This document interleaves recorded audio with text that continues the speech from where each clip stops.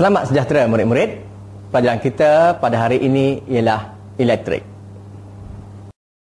Apa yang kita lihat ialah pergerakan arus elektrik yang menghasilkan cahaya.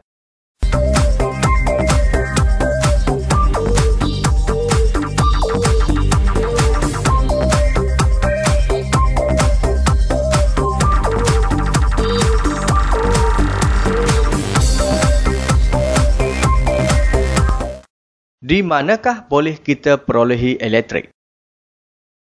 Inilah rajah elektrik yang kita lihat sebentar tadi. Sekarang, mari kita lihat sumber-sumber tenaga elektrik. Elektrik berasal dari sumber-sumber yang berlainan. Yang pertama ialah sel kering. Sel kering ada pelbagai saiz antaranya AA, AAA, bentuk segi empat dan pelbagai bentuk bulat yang leper. Sel kering menyimpan kuantiti elektrik kecil yang digunakan pada bahan elektronik. Sumber yang kedua ialah dinamo Dinamo biasanya terdapat pada basikal. Lihat gambar keratan rentas dinamo. Di dalamnya terdapat gegelung wayar dan magnet. Apabila dinamo dipusingkan, arus elektrik akan terhasil.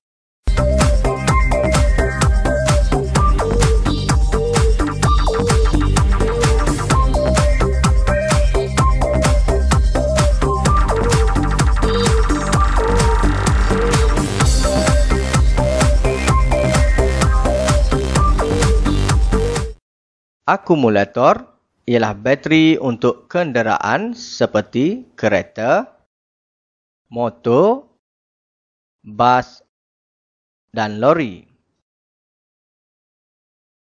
Akumulator digunakan untuk menghidupkan kenderaan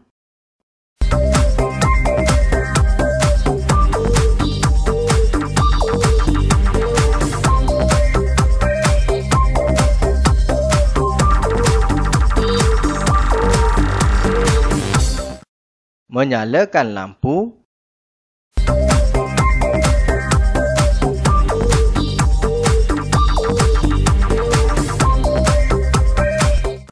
membunyikan horn dan juga memainkan radio atau video di dalam kenderaan.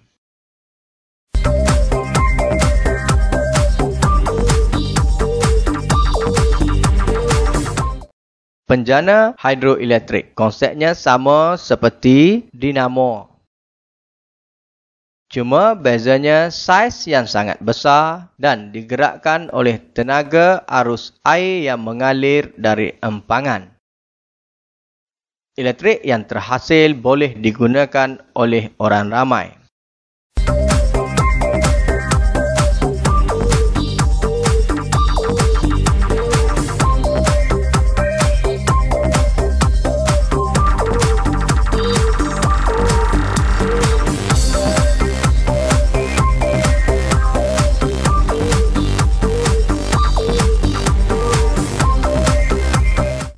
Akhir sekali ialah sel suria.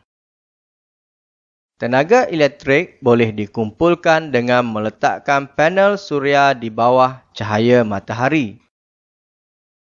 Tenaga ini adalah percuma tetapi hanya dapat dijalankan pada waktu siang sahaja.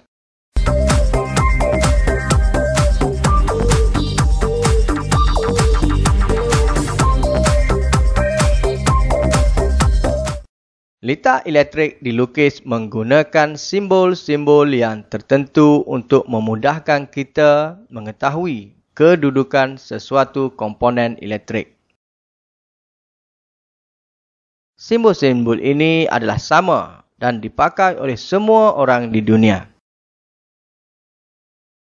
Komponen yang pertama ialah sel kering Garis yang panjang mewakili bahagian positif dan yang pendek ialah negatif.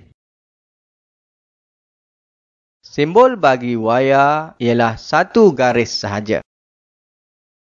Wayar membenarkan arus elektrik melaluinya. Ini pula simbol bagi mentol.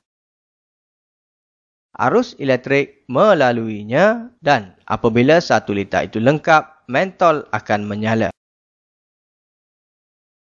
Swiss boleh dibahagikan kepada dua keadaan. Apabila litar lengkap bermakna Swiss itu ditutup. Simbolnya adalah seperti berikut. Apabila litar terputus bermakna litar dibuka dan simbolnya juga seperti garisan yang terputus.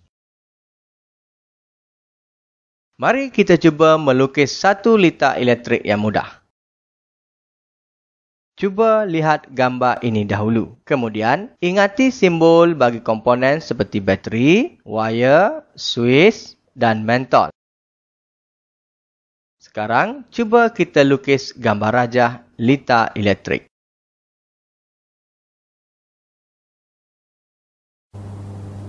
Baiklah, sampai di sini sahaja pelajaran kita pada hari ini. Sehingga kita berjumpa lagi dalam episod yang akan datang. Selamat maju jaya.